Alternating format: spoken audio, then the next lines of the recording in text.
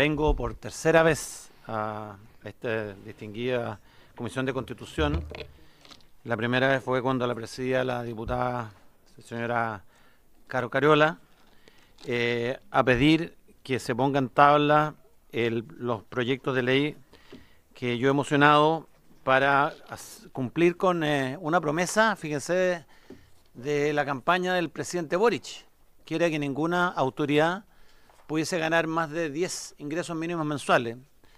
Y habiendo muchos parlamentarios en esta mesa eh, que estuvieron a favor de que fuera electo el presidente Boric, yo creo que eh, sería bueno que ellos tuvieran en cuenta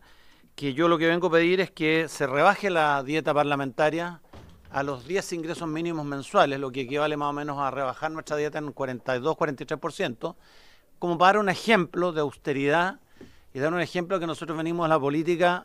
a servir y no servirnos, y estando el país en la crisis que está sometida, agudizada por el mal manejo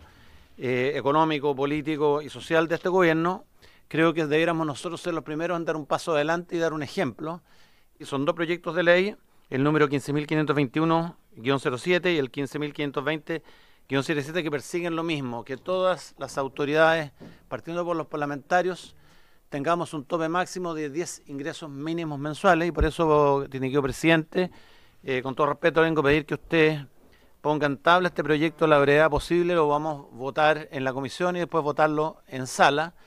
para saber quién está del lado de la posición de los chilenos que hoy día están sufriendo el embate de la inflación, del embate del desempleo, del narcoterrorismo y el narcotráfico